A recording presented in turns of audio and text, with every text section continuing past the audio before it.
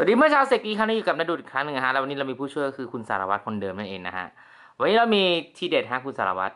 นั่นก็คือปุ่ม home นั่นเองนะฮะปุ่ม home นี้ไม่ใช่ home ธรรมดาทำได้หลายอย่างมากนะครับปุ่ม home นี้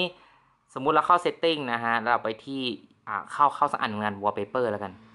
นี่โอ้ยเขาไม่ได้ อยากจะ back นะฮะทำไงฮะคุณสารวัตรเอามือแตะฮะ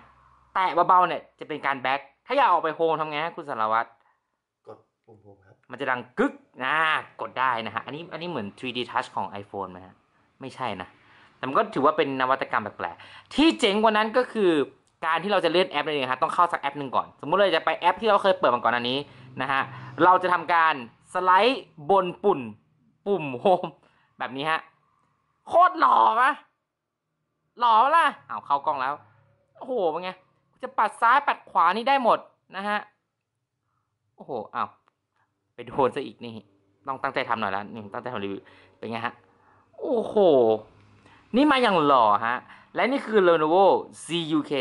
Z1 นั่นเองฮะ หรือที่คนไทยออกเสียงว่าซุกนั่นเองฮะ ก็คือซุกเอาไว้ก็คือจะไม่เห็นใช่ไหมฮะสารวัตรสู้ครับ ครับ จะเล่นอะไรกันนักหนาฮะ อ่าวันนี้ฮะ คงต้องลำลาเพียงนี้นี่เป็นแค่พรีวิวปุ่มโฮมเท่านั้นนะเดี๋ยวรีวิวแล้วได้ดูเร็วๆนี้แน่นอนนะฮะ วันนี้ก็มีคนสอยไปหมดแล้วนะฮะ เรียบร้อย ลาก่อยฮะ สวัสดีฮะ